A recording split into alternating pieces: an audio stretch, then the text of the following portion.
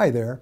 Throughout the year, I've received a lot of questions from my friends on Facebook, so we've decided to sit down and answer these questions and let me give you my thoughts and insights and experiences, and they may be helpful to you. And questions from one person may be a question that you might have asked yourself. So let's get started. Tremaine from Facebook asks, How can I get past the fear of success?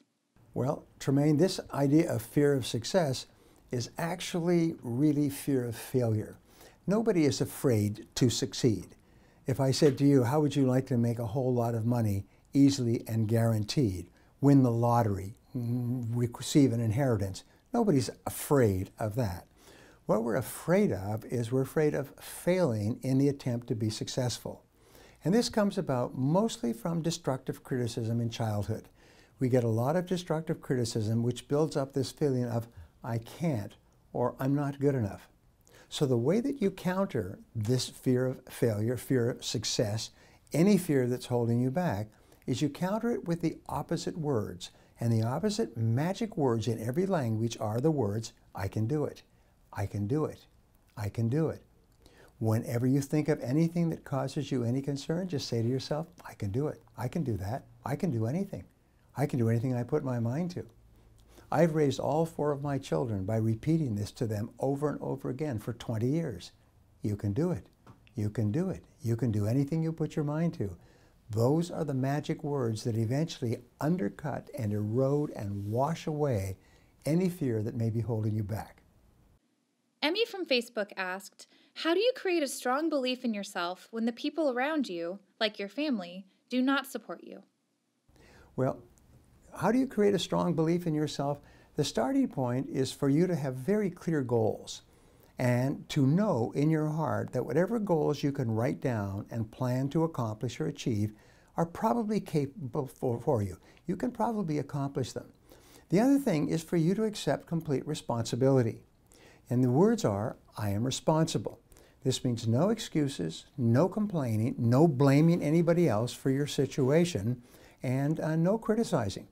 From now on, you just say, I am responsible for my own life. If there's something that I want to do or change, then it's up to me and I can do it. And when you start to accept full responsibility, you start to feel powerful. When you start to feel powerful, you become more positive. When you become more positive, you feel a tremendous sense of personal empowerment. So the magic words that I've always taught in my seminars is to say over and over again, I like myself, I like myself, and I am responsible. I like myself and I am responsible. I can do anything I put my mind to. And you repeat those over and over as affirmations and you program them deep into your subconscious mind. And at a certain point, you override all the negativity from your environment. Deanville from Facebook asked, How can you fight the negativity in yourself? Well, everybody starts off with two major fears the fear of failure and the fear of rejection. The fear of failure comes from early childhood experiences where you're told, don't, stop that, get away from there, don't touch that. And as a child, you grow up believing that you are small and weak and inadequate and not capable of accomplishing the things you want to accomplish. The way you overcome the fear of failure is you say, I like myself, I like myself, I like myself. Now, the fear of rejection is caused by a hyper concern for the opinions of other people. In William Glasser's work on what they call the fully functioning person, he had a wonderful line. They said, fully functioning people, these are the top 10% of people, never complain and never explain. They never defend themselves. Is they do it or they don't do it, but they never feel that they have to explain themselves to anyone else. If someone doesn't like it, they say, and your point is, and they just don't care. And your job is to reach the point where you say, I like myself. I like myself. I'm responsible for my own life, and if someone doesn't like what I do or don't do, that's their problem. It's not my problem.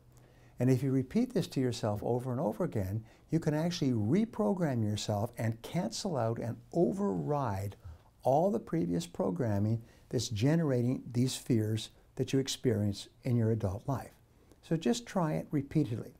One more thing is set clear written goals for yourself and work on them every day and then simultaneously read for 30 to 60 minutes each day in something positive and motivational and inspirational. Something that builds you up, what we call mental protein, that makes you feel positive about yourself. And eventually you reach the point where you actually cross a divide, and from that point on, you'll be positive for the rest of your life. Now, I've given you a couple of ideas. So the most important thing that you can do is to take action. So what one action are you going to take as a result of these key ideas that I've just given you? Whatever it is, jot it down and let me know. Remember, one action that you take that you would not have taken in the absence of this discussion can change your life forever.